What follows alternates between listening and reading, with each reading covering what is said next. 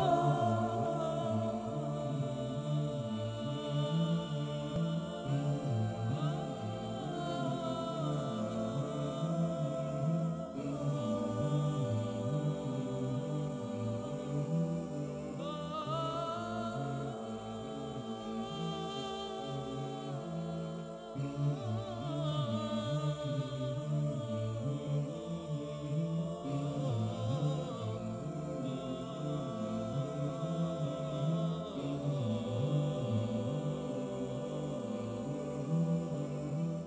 إسلاموفوبيا 12 زمان وإحنا صغيرين لما كنا بنتفرج آه، على الأفلام اللي هي بتاعت هجرة الرسول. والأفلام القديمة ديت. كان بيبقى في واحد دايما بيتعذب واحد دايما الناس بتأمره روح واعمل وتعالى وخلي. الشخص ده بيبقى اسمه عبد. كان دايما العبد دوت هو أقل واحد في الفيلم. هو أقل واحد بالنسبة لكل الناس اللي حواليه. يجي هنا بقى سؤال مهم. دايما بسأله لنفسي هو إحنا مش عباد الله؟ يعني إحنا عبيد زي اللي كانوا في الفيلم. يعني كلمة عبد ديت كلمة مش مش حلوة. طب هو ليه ربنا ما خلق ولاده مثلا؟ ليه ما خليناش قرايبه؟ ليه ما خليناش أبنائه؟ ليه ليه عبيد؟ ليه إحنا عباد الله؟ مش كلمة عباد الله ديت ممكن تكون نقص بتنقص من قيمة الإنسان. طب هو ربنا خلقنا فعلا عشان كده؟ عشان نبقى عبيد ليه؟ طيب اشمعنى ربنا خلقنا عبيد وخلاص؟ ليه مش حاجة تانية؟ من صغري وأنا متعود إن أعمل كل حاجة بنفسي. ما بطلبش حاجة من حد. ما بحبش حد يعمل لي حاجة عشان ما اضطرش أقول شكرا. بحاول ما اغلطش خالص. علشان ما اعتذرش. علاقتي بربنا من دعاء وصلاة واستغفار هي بالظبط عكس حياتي. ده اللي بيحسسني إن العبودية لله ناقص ليه ربنا يعمل فينا كده؟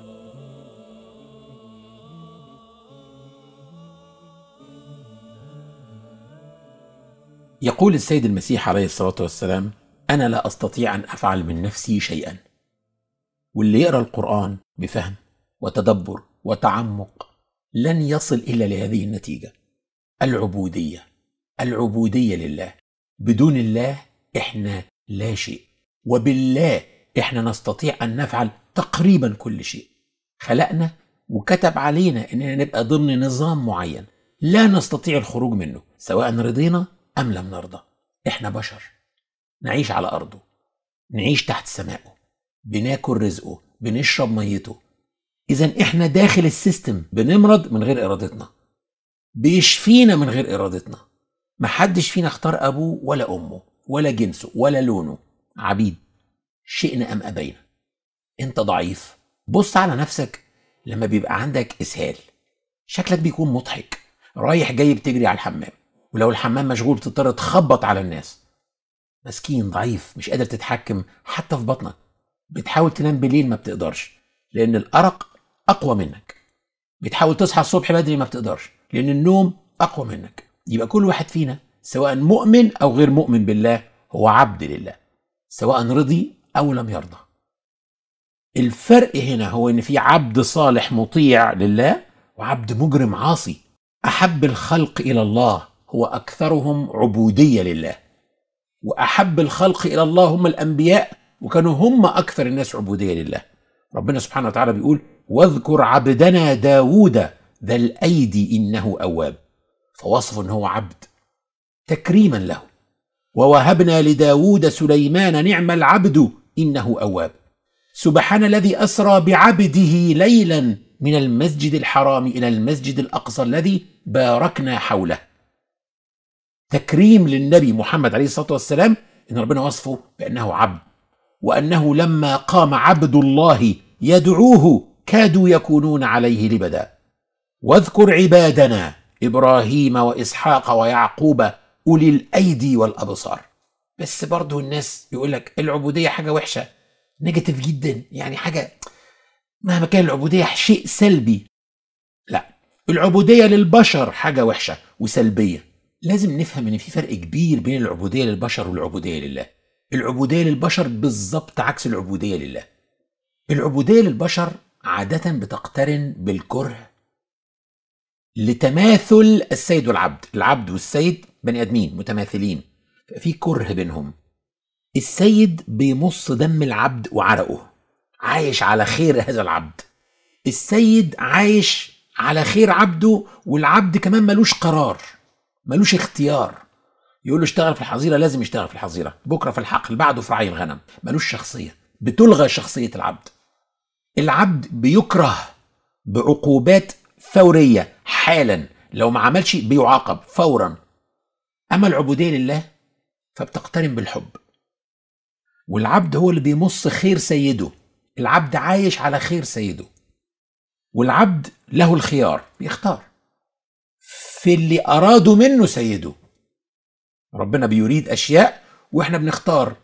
هو ربنا بي بي بي بيدلنا على الطريق الصحيح. وبعد كده فينا اللي بيختاروا إن يطيع أو لا يطيع.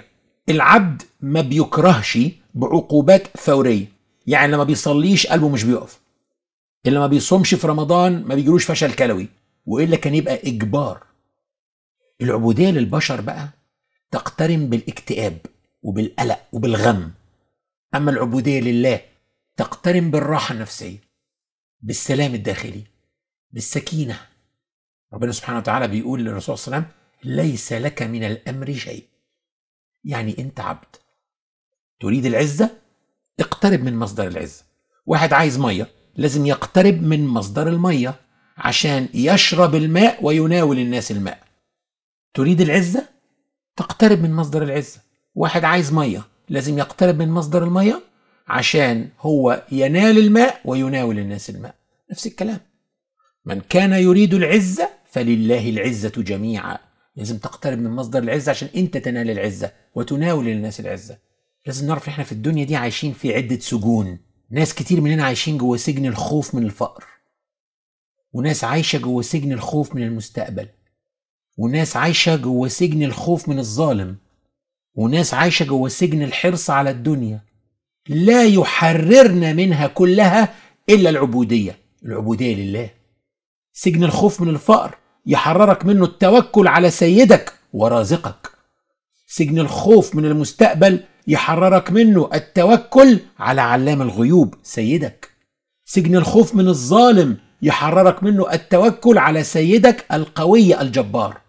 سجن الحرص على الدنيا يحررك منه التوكل على سيدك الغني المغني الرزاق. جات لي وأنا في أمريكا واحدة سيدة ملحدة طلبت مني أشرح لها الإسلام فبشرح لها أقسام الإيمان الستة. الإيمان بالله والملائكة والكتب والرسل واليوم الآخر والقضاء والقدر. فوانا بكلمها عن القضاء والقدر بكت بكاء شديد. فأنا استغربت يعني هي سايبه أقسام الإيمان كلها؟ الكلام عن الله وعن الرسل واليوم الآخر وجاية تبكي في القضاء والقدر. فقلت لها ليه بتبكي؟ قالت لي لأن أنا ملحدة. ولأن أنا ملحدة أنا رازقة نفسي. فبضطر أشتغل شغل مضاعف عشان أحوش لأني عارفة إني عند سن معين مش هقدر أشتغل وهحتاج مدخرات. وفي نفس الوقت عشان أنا ملحدة أنا مسؤولة عن أمني. أنا اللي بحمي نفسي من المخاطر. بالتالي لا بركب قطارات ولا طيارات ولا سيارات لأني بخاف من الحوادث. والاتنين دول عكس بعض. لازم أشتغل كتير جدا جدا وأعمل فلوس. وفي نفس الوقت أنا بخاف من وسائل المواصلات ولازم أعمل الشغل ده كله بدون وسائل التنقل السهلة. لما سمعت منك القضاء والقدر عرفت إن هي دي الحاجة الوحيدة اللي هتريح أعصابي. إن في من يرزقني وفي من يحميني. إن كل ما علي هو إن أنا آخد بالأسباب وأسيب كله بعد كده على اللي بيرزقني وعلى اللي بيحميني. العبودية لله شرف وفيها كل الحرية. الإيمان بلا إله إلا الله مش معناه بس إن أنا مش هعبد إلا الله. لا إله إلا الله معناه إن أنا لا أعبد إلا الله ولا أخاف إلا من الله. ولا أطلب إلا من الله ولا أرجو إلا الله ولا أدعو إلا الله ولا أشكو إلا إلى الله ولا أحب إلا الله وما يحب الله ولا أكره إلا ما يكره الله.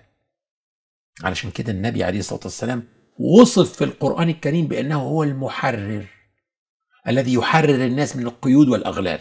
ربنا سبحانه وتعالى بيوصفه بيقول ويضع عنهم إصرهم والأغلال التي كانت عليهم لذلك اللي بيتعالى على الله بيستعبد في سجون الدنيا.